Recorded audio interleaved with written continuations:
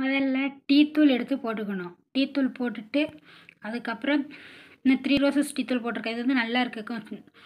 அடுத் அடுத்தது தேவையான அளவு இஞ்சி போட்டுக்கணும். இஞ்சி வந்து நல்லா ஒன்று ரெண்டாக தட்டி போட்டுக்கணும். இஞ்சி போட்டுட்டு அதுக்கப்புறம் மில்க் ஊற்றிக்கணும் நான் வந்து ஆரோக்கியம் மில்க் ஊற்றிருக்கேன் அது வந்து நல்லா க்ரீமான மில்க்கு இந்த மில்க்கு நல்லாயிருக்கு இந்த மில்க்கை ஊற்றிட்டு அதுக்கப்புறம்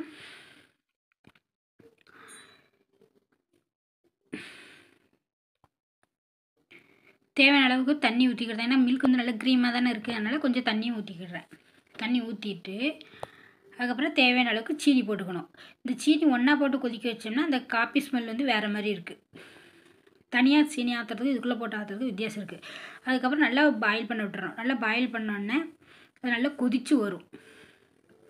கொதித்து வந்தோடனே அதனால் அரிப்பை வச்சு நம்ம இ- இருத்துற வேண்டியதான் இதில் வந்து நமக்கு வந்து இனிப்பு காணலைன்னா கொஞ்சம் சுகர் வேணால் சேர்த்துக்கலாம்.